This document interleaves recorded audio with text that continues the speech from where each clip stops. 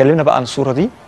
طبعا الحمد لله برضو اتوفقنا انه كذا حد من الممثلين المشهورين جدا في مصر آه لبسوا من عندنا في كذا احتفال آه في الجونة film festival في ال Cairo film festival في في كذا event مختلفة. آه ده أبو؟ أبو أبو؟ yes. okay. أهو ده أكيد في الجونة. برضه فيلم آه. festival؟ صح I think so آه هو كذا event مختلفة بصراحة. آه ده برضه بين شكله حلو آه، جدا عوض. ولايق جدا بقى على الأسود. هو آه. كده ظاهر ظهور هو هو فعلا كان لونه ذهبي وفيه حجرة خضراء في emerald أخضر. أمير إحنا بنستعمل حاجاتنا كلها معمولة من- أحمد حلمي لسه ده جديده آه الصورة أحمد حلمي لسه دلوقتي على Arab Arabs Got Talent آه آه طالع بيها وبتاع. بالظبط. ده أنت خلاص بقى. بنحاول والله. بص بنحاول نعمل حاجة جديدة. عمر. آه عمر. عمر السعيد إزيك يا عمر؟ عمر برضه كان لابس من عندنا.